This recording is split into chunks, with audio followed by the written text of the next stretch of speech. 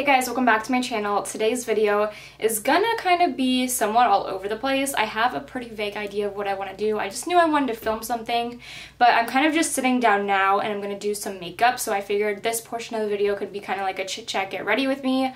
I also have been really wanting to try out the new Wet n Wild foundation. This is the new dewy one, so I'm gonna wrap like a review into this as well. And then I'm going to get my hair done later, so I want to do, probably like when I do like a touch base to like review the foundation, like see how it's wearing, I'll show you my new hair, so there's going to be like a slight vlog portion in it too, so I don't really know what to like call this video. It's just like I said, kind of going to be somewhat all over the place, but I just want to sit down and play with some makeup. I have a new like eyeshadow technique I want to try out because I feel like I do my eyeshadow the exact same way like every single time. That's why I have this tape here. I obviously already went ahead and did like my brows and did some color correcting. So we're just going to dive right into it and we'll see kind of what this turns into. Okay, so I've got you zoomed in a pretty good amount right now, so we're to focus on the eyes first. Like I said, I have an idea of a new technique I kind of want to try out. So for my eyeshadow today, I'm to be using the Anastasia Soft Glam Palette, and I'm to use my Morphe E18 brush. This is what it looks like, the Morphe E18. It's just a very dense, um, kind of like smudger brush, and I'm to be taking the shade Rustic right here, which is a very matte, kind of like cool tone brown, packing it on my lid right in like the crease area. So instead of like blending it out and like smudging it, I'm really going to be packing the product onto my brush and just kind of stamping it onto my eye to make sure it's very, very pigmented. I don't really have any like set ideas of like what I wanted to like talk about in this video, but I d I didn't want it to be like tutorial based. I wanted it to just be kind of like more casual and literally just me playing with makeup, which is what I want to do. I've been thinking of doing like a Q&A, but I don't, first of all, like, I feel like I would like advertise, I guess, like maybe on like my Instagram or something, like ask me questions, like blah blah, and like nobody would ask me anything, so I'm like kind of embarrassed to even like put it out there, but I guess if there's anything that you guys want to know definitely like mention it in the comments. You can ask questions there. I'll go ahead and link like my social media below so i guess if you want to follow me, you can. Not that I'm like super exciting on there or like even that active. Honestly, I don't think I posted on Instagram since like my birthday in December, but I'll just, you know, I'll just put it out there just in case anybody wants to.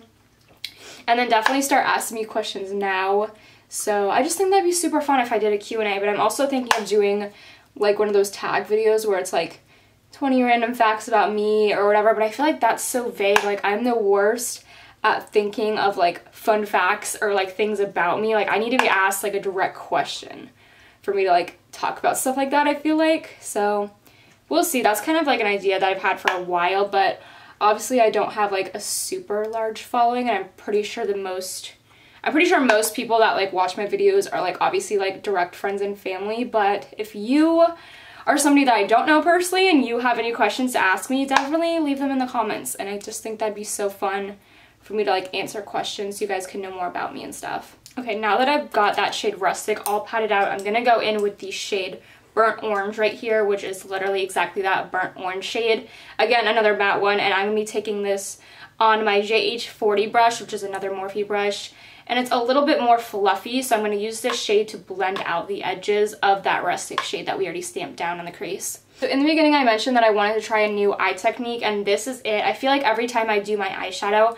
I was always taught, like watching like the videos from way back in the day, to start out with the lightest shade first, like in the transition shade, and then move in with the darker shades and blend it out that way. But what I've been noticing is a lot of people have been kind of doing the reverse and putting down the darker shades first and then blending them out with the light shades, which, I mean, it comes together beautifully. Like, I've never seen a bad eye look using that technique, so I've kind of been inspired to try it out. I also eventually want to get back into using eyeliner. I would legit, like every single day when I was like a freshman in high school, the Naked 2 palette was like my favorite palette in the entire world. That was like the only eyeshadow that I would ever use.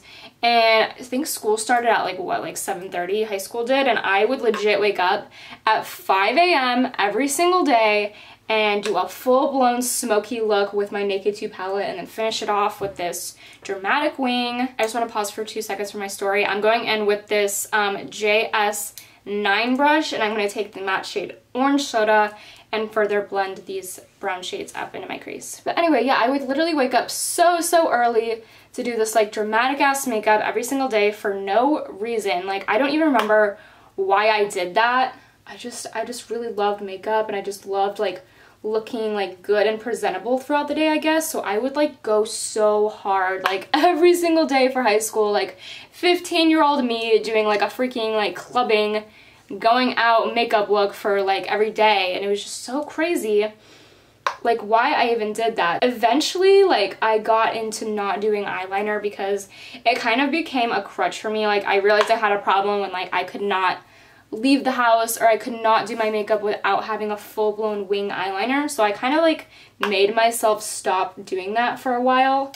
It's been a really long time since I remember doing wing eyeliner because since I stopped doing it, now I'm scared that I'm not gonna like really know how to do it anymore. I'm gonna go into the shade Cypress Umber and I'm gonna take that Cypress Umber shade and pack that right onto like my outer third of my eye again just like stamping it i've also been really thinking about doing other people's makeup like on the side um not necessarily starting like i guess like a business out of it but just i mean i kind of have done people's makeup in the past like for fun and stuff but i've never like seriously considered doing it like to where I could like make money off of it. So I don't know, it's kind of something that I've also been thinking about doing, but I don't really have any people like practice on. So besides my sister, I always do my sister, but I feel like I would need to get experience on like different like face shapes first before I start doing that and like obviously like taking people's money. Like I want to make sure I do a good job if I'm like charging people for it. I'm to pause for two seconds so I can go ahead and do a cut crease. Yes, I'm attempting a cut crease.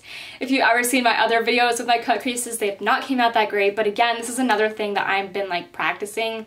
So I'm to go and do that really fast and then I'll come back and we can continue our little conversation. All right, I'm just going to go ahead and start putting some like shimmer on because I feel like I'm gonna sit here like all day trying to mess with this and it's just not going to look right. Oh my god, this job that I just applied for is calling me back and I'm like panicking right now. Okay, hang on. Hello? Hi, how are you? Good, how are you? Good, thank you. Okay, that works. Thank you so much. Bye-bye.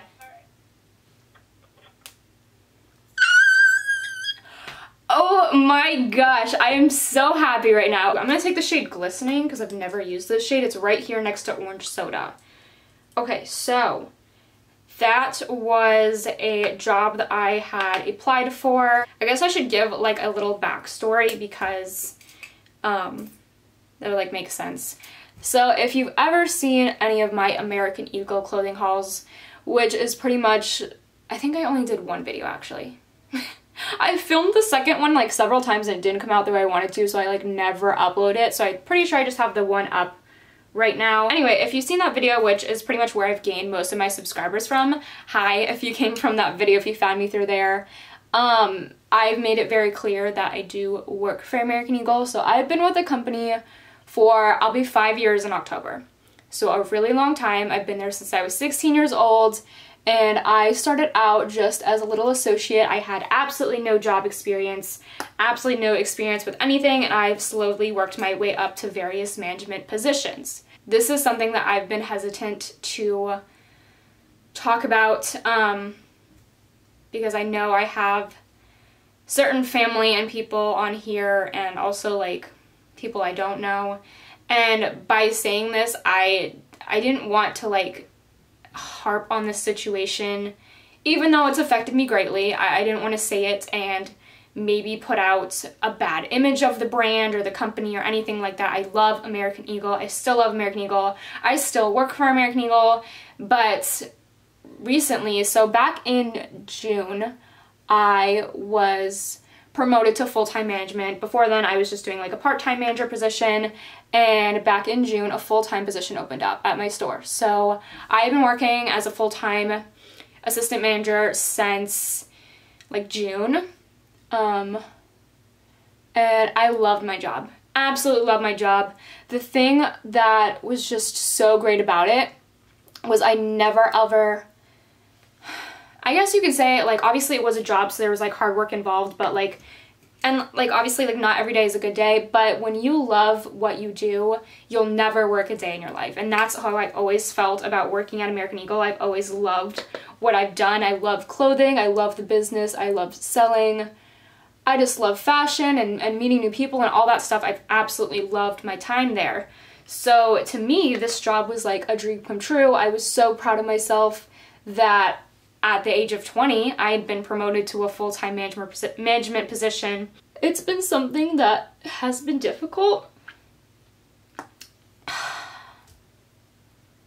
I literally have to leave in like 30 minutes for my hair appointment. I can't do this right now. But anyway, I, I don't want to like harp on this situation and make it out to be like a horrible thing because I understand why it happened. Um, so back in January, I gotta stop.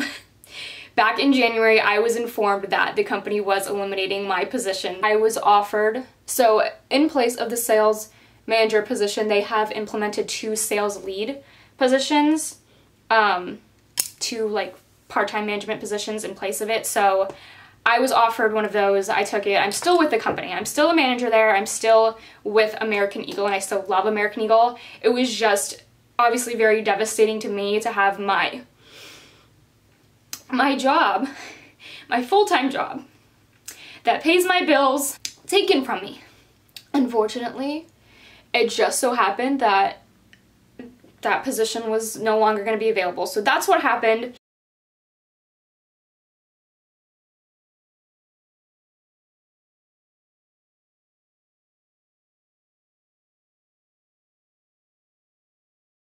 Anyway, so that was something that affected me so much. It's partially why I, took a break from YouTube because I went, I'll be honest, I went through a bit of a depression for a while after I essentially lost my job. Um, so, you know, I've just been kind of laying low for a while, kind of trying to figure out what do I do next? Why, you know, like the thing is that yes, I was completely devastated by this, but you know what? Everything in life, I believe, happens for a reason. And I, I'm still trying to find that reason, I guess you can say. It's It hasn't been easy for me this past couple of months, um, you know, with the adjustment and everything, but, um, and they gave me the option. They completely gave me the option, um, to obviously, like, leave the company. Um, I could file for unemployment and do that whole thing. Um, but I didn't want to. Like, even though that happened, I still love the company. I still love my job. And if that means that maybe I just have to wait a little bit longer for something else to open up, then that's fine. Like I said, I, I just loved my job. I loved what I did and I loved the business. So for me, it was a no-brainer to decide that I wanted to stay if they would allow me to, which they did. Like after I got my first paycheck, like yeah, it's a 10 hour difference. I'm not working full time. I'm only getting 30 hours that affects my paycheck. Like that affected me really like a lot, like more than I actually like kind of thought it would. So I don't want to say I've been like actively looking for a second job because to be honest, I didn't want to. Like I still kind of think that I didn't want to accept like what had happened. I didn't want to start over with a new brand. I just I didn't I didn't want to leave. Like I didn't want to like I guess accept um my new reality, my new situation. So I've been looking like on like Indeed or whatever for like different jobs, different retail jobs. I know I wanted to stay doing that, but I hadn't found anything that had like really, really like, you know, grabbed my attention and anything that I was like, I could see myself doing. Um, which I, you know, I don't know. I think part of that was just me being in denial and me not wanting to start over, not wanting to change because I was really happy with what I was doing. But so long story short, my friend, this girl I've known forever, she came into my job as I was working like last week and um I didn't, you know, like I said, I didn't really tell a lot of people when this happened. I only told like immediate friends and family because I didn't want I was embarrassed. I'll be completely honest. I was so embarrassed even though it like literally had nothing to do with me. It was entirely just the company and their decision of what to do with their brand. Um, I was hurt. I was embarrassed, and I, I didn't want anybody to like really worry about me. So I didn't say anything, and it kind of just ended up coming up in conversation because I don't like to lie, and you know, I, I just I just felt like I should say it. So I told her what had happened, and I'm not gonna say where she works. I'm not gonna say like the company name, but um, she works in retail and she told me that the store that she works at, they are looking for a part-time management position when it opened up. And no, it's not full-time, but I figured maybe even if I don't get a set amount of hours, like every little bit helps. So she told me about this position. She was like, oh my god, apply. So I did. I went ahead and put an application and she gave me the manager's phone number and I texted her and all that. And um, I got a call back um, Monday actually, and she let me know that I guess whoever the person that's in the position now, she didn't know she was gonna leave basically. So it was kind of just up in the air as if the position was still available or not. And she, which I really appreciate, she told me upfront and she said she just didn't want to string me along through the interview process if it wasn't like a guarantee that the spot was even still there. So I just got a call back um, which is what that whole thing was, from the manager saying that it was confirmed that the girl is definitely leaving and the spot is for sure open. And she scheduled an interview for me um, next week, which is so exciting. And I just think that maybe, like, this is that reason. Like, when I say everything happens for a reason and I, I didn't know why, like, maybe, like, this is, like, like more so meant for me. Um, I don't know, or like maybe just something's gonna come out of this. I can't stop crying. I've been so emotional since this happened. Just because I'm an emotional soul too, like everything, like I just feel like I feel things like so deeply. Um, so this, this just has hit me so hard and it's really tough to talk about. You just never know, like I just feel like, like something will not get taken away from you in life if there's not something else better in store. So there's a reason that this all happened. There's a reason that it happened to me. I'm just waiting to find that out. So I'm very excited for this possible new beginning if I do get the job. I don't want to jinx myself. I'm feeling very lucky and um, I'll just, I'll see where this takes me. And of course I'll do an update. Um, I guess if anybody, like wants to hear. Maybe I like won't post this though. Well, I don't know people don't get jobs all the time, but I'm that weird person that I'm like, I don't want to like announce that like I have a potential to get something and then have it not happen and be embarrassed. But like honestly, like like things happen, shit happens. So maybe this isn't even like meant for me, but like I'm just gonna take it, take the opportunity that's been given to me and do my very best with it. And if it's not if it, if it won't work, then it, it won't work. Then that's what it is. But, you know, I'm just, I want to give it a try, and I'm very happy that um, i I guess I've been given the opportunity to. I'm missing a brush. I definitely lost a brush. And I think it's because I put it back. So yeah, that was my that was my little story, which again, I, I'd been avoiding talking about it for various reasons. Mostly, like, this is the internet. Anybody can watch this video. Anybody can, I guess, interpret it a certain way. And I, I don't want to, like, I don't want to like put a bad image out on the, the company because a lot of companies do this. Like this is not an uncommon thing. It just sucks that it had to happen to me and especially at such a young age. Um, being that I am moved out to and I was completely financially dependent upon that job. It's a shitty situation. I'm not gonna lie. But, you know, life happens, shit happens, and you can mope around and sulk and be miserable about things or you can choose to get up and move on. That's kind of the path that I have chosen is just like this happened for a reason, better things are coming, move on. So I'm not ready to part ways with American Eagle just yet. I love the brand. And like I said, this has been my only job that I've ever had since I was 16.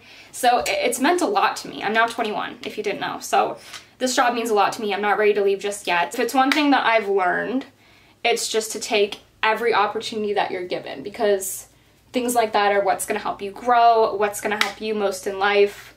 So that's kind of the journey that I'm on. That's kind of where I've been at. I'm glad I didn't make like a designated video for this because I again I don't want to like harp on it and make it out to be like some whole big thing and blow it out of proportion and like just cause like unnecessary like drama I guess. Like I just I just don't want to be like reprimanded for this even though it is something that's affected me personally and it's not me talking trash about any brand or any company, it's just me literally explaining what has happened to me and my experience and how I'm feeling, um, which is totally valid. So, again, that's why I'm kind of addressing this. Um, plus, that call was unexpected and I didn't want to just leave it hanging. That wasn't even one of the things that I had like intentions of talking about in this video, but you know what?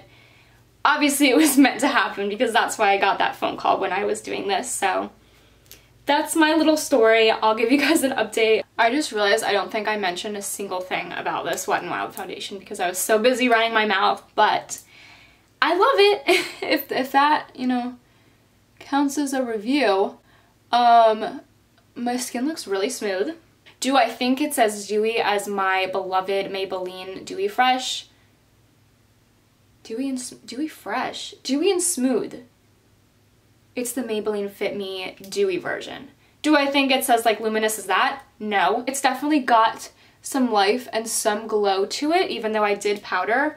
But if you're looking for like the ultimate dewy, like wet look, which I guess maybe not that many people want in a foundation, unless you're me and you just love to shine. No, it's good. It definitely looks really good, and it's not as matte, clearly, as the original. Um, but I still like the original. See, that's the thing is I have more dry skin and since the original is such a matte finish, I, I, I typically don't gravitate towards matte foundations. However, that one has a very like kind of a natural matte, very like smoothing look. So I can see the same like smoothness and this foundation. I did definitely go ahead and apply like two layers of it, but um, I really like it. I do really like it. It looks very like fresh face, which I like. It doesn't look super like cakey or heavy, which sometimes the original one can look on me if I layer it up too much. This one's really nice so far. So I'll definitely do a check-in after my hair appointment to kind of show you guys how it's wearing. Yeah, I think I'm gonna cut this off now just because I'm just finishing my mascara and then I'll just go ahead and apply some lipstick. But um, yeah, I'll probably show you like later on when I get my hair done. So I guess I'll see you then. Hi guys, so I have made it to my hair salon. The weather's kind of starting to get a bit gloomy out. It looks like it might rain actually, but I'm hoping by the time I come out that's not gonna be too dark uh, with that. And then also, um, I don't know how long it's gonna take. I mean, the sunset doesn't shouldn't set until like close to eight now because daylight savings yay. So we'll see. I'm hoping there's still gonna be some light left so I can actually show you the end results. Because uh, right now my hair looks so shitty up in this little messy bun and I've got so much dry shampoo in it so I'm like really praying for a miracle here. Um, so I'll be back uh, when I come back and I can show you guys my new hair. All right, so I am back. I just finished getting my hair done. I literally look like a little coconut head, but honestly, I just think the style's so cute and I was so ready for a change for summer. So I just got it cut very short, um, like right by like my shoulders, kind of like a lob type thing, like that long bob style. Um, and we added some layers and then I've got these cute little like front pieces too to kind of help like frame the face. So I think it's so cute and I didn't even realize like, obviously like I knew I had long hair. It was was like down to like my hips. Um, but I actually ended up donating. It was like 12 inches from the back and then the two front strands ended up being like 10 inches. So yeah, I ended up donating my hair to, I believe it's Wigs for Kids. Okay guys, so I am home now after everything. I even treated myself to a little Shamrock shake from McDonald's because I am so excited for St. Patrick's Day. But anyway, um, I remembered that kind of a portion of this video was me like reviewing that Wet n Wild foundation. So I just want to give you a last little recap um, and kind of show you guys what it looks like after several hours of wear time. I don't remember. I put it on around like 1 p.m. and it is a little bit past 10 now. So I'll just zoom you in and kind of show you how it's worn throughout the day.